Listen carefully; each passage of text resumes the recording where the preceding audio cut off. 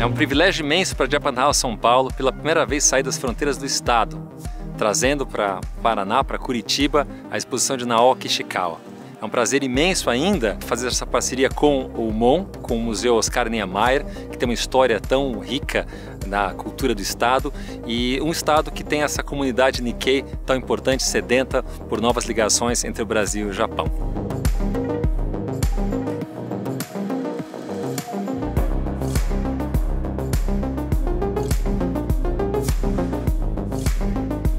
Museu Oscar Niemeyer está muito feliz com essa parceria com a Japan House de São Paulo.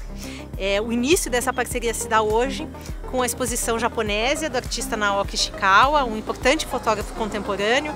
E o estado do Paraná tem uma identidade muito forte com o Japão, porque é o segundo estado com maior número de descendentes japoneses. Então, hoje é a concretização desse sonho nosso.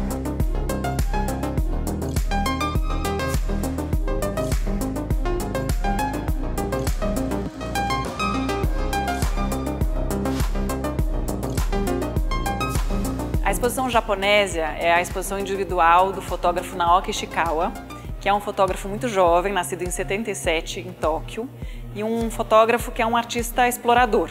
O Naoki viaja muito pelo Japão, faz escaladas e faz nessas viagens dele muitos registros de paisagens e também de festividades e rituais humanos presentes em algumas cidades desse caminho.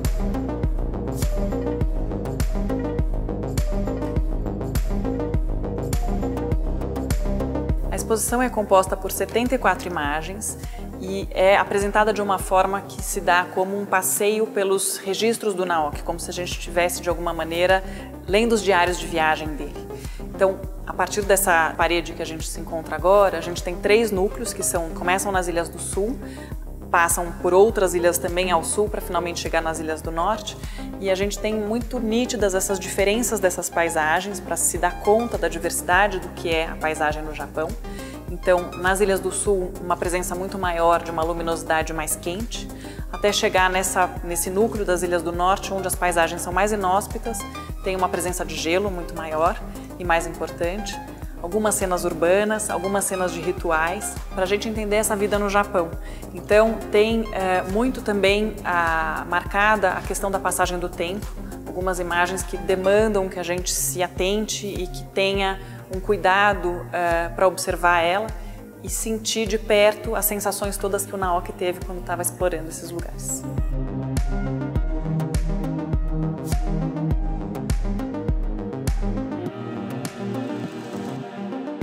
Naoki Ishikawa escalou o Monte Fuji mais de 30 vezes.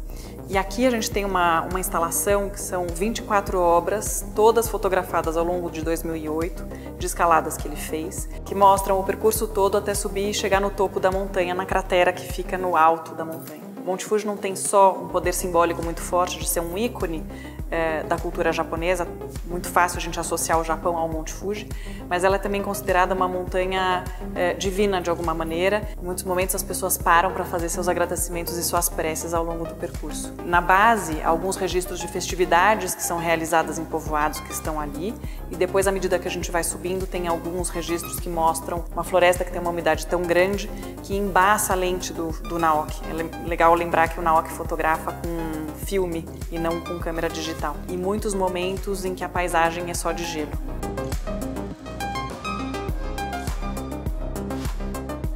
Além dessa instalação, ainda tem duas outras fotos muito poderosas aqui na exposição que mostram o Monte Fuji.